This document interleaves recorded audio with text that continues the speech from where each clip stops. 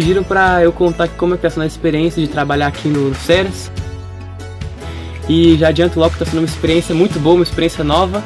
Eu gosto muito de animais, então isso aqui é o trabalho perfeito. Temos aqui vários animais. Temos aqui a tartaruga que inclusive chegou hoje.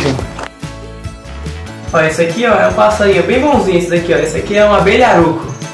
Isso aqui são os tenébrios, que são umas pequenas larvas que nós usamos para alimentar os abelharucos e as outras aves. Também estamos aprendendo muita coisa sobre os animais em geral, como alimentação, mecanismos de defesa. Inclusive vou levar vocês para o biotério agora para conhecer os ratos, né? Que são criados aqui para servirem de alimento para outros animais.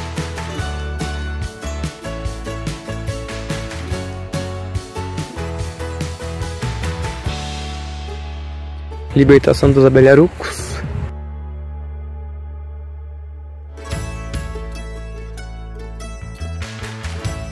Aqui ó, hoje vai ser a libertação aí do cágado, vamos soltar ele na natureza. Pra ele voltar pro seu habitat natural. Tá, vem cá, calma aí, ó. Pode deixar ele aqui? Aquele pelo Aí, ó.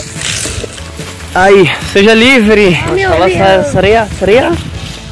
Adeus, seja livre, Donatello. Será que ele vai nadar? Ele vai entrar na água? Olha só, vai entrar.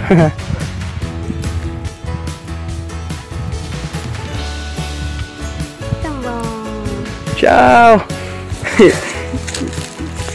Tinha chegado a hora de ir para casa, mas é como eu falei, esse voluntariado está sendo muito, muito, tá sendo muito bom.